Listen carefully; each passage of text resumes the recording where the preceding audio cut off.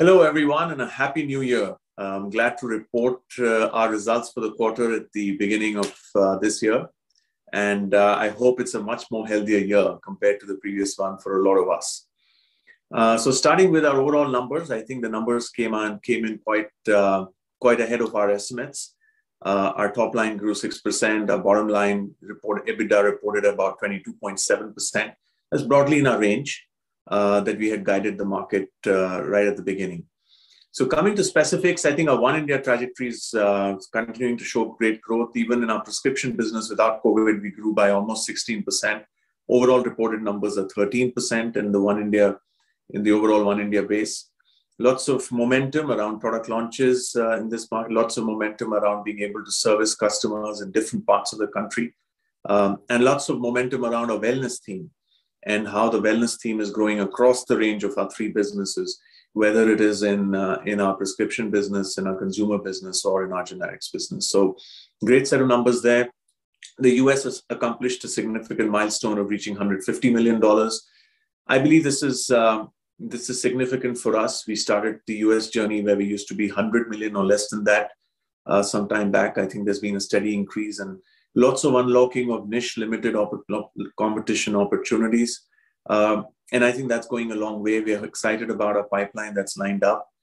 And of course, that pipeline requires a significant amount of co- collaboration from our manufacturing colleagues, our R&D colleagues, uh, and our quality teams. And I think it's the it's on the crux of their work, dedication, and effort where the US uh, pipeline can be unlocked both in the US as well as in, in the European Union.